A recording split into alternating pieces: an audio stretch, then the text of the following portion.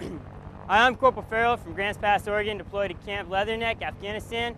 Just want to wish my wife and everybody back home happy holidays and a Merry Christmas.